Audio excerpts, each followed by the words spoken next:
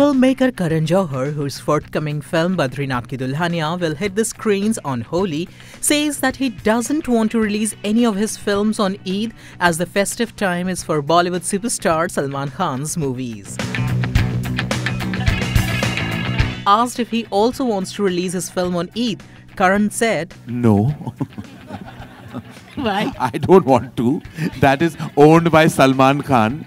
And I think, unless, of course, Salman and I do a film, then I would very happily uh, arrive on Eid. Otherwise, it's best not. Look, we're here uh, to release films uh, in a manner that we can optimize our numbers as well. It's a, it's a clear thought. So, as a producer, as a studio that we partner with, we make sure that, you know, we're we come uh, in a climate or on a day that we know we can really completely juice for various reasons. And uh, we have to see what's coming before, what's coming after, whether it's another film from the Hindi belt or is it another Hollywood uh, film. You have to kind of see lots of verticals when you release a film. So there's uh, like, I feel like you have to really truly strategize your release as much as make your film. Even the work that we do post it is very critical about how you release it, how you um, how many screens, how you're strategizing your release, all that's very critical. So the release date is becoming more and more challenging to reach the right date for the film. You know, so it's it's something that we we toy with a lot.